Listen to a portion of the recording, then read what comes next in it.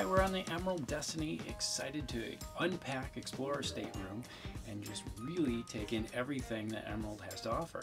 So we're gonna give you a little stateroom tour of cabin 224, which is a panoramic balcony suite. We are excited to show you around.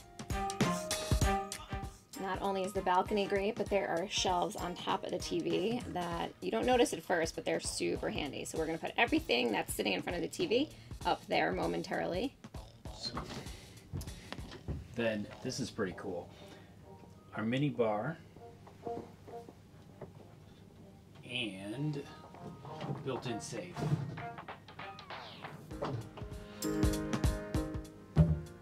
But my favorite part is this desk also has some storage in it. We keep our COVID supplies in here. We've got the phone in case we need to call the front desk. And then this can also be a vanity. So you can put on makeup or do whatever you need to do in the mornings. Um, it folds down to do some work.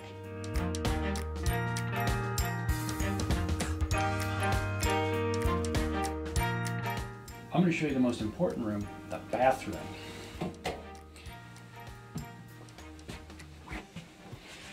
We have a nice selection of drinkware, your toilet, your tissues, of course, your toilet, great size sink, uh, but the most important thing that I think of is the shower. Great size, I'm over six foot and um, I have plenty of room in here. And this huge closet fits all of our stuff for our eight-day cruise and beyond. We have all our shirts hung up, jackets, and everything.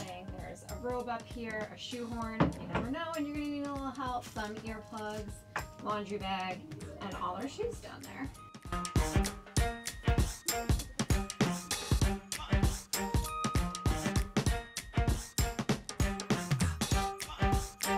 So the way this balcony works is you just press a button and it becomes a balcony.